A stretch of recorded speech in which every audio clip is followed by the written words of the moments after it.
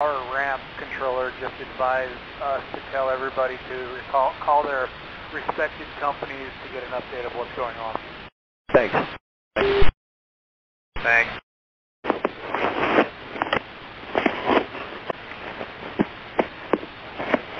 Tower American 1084.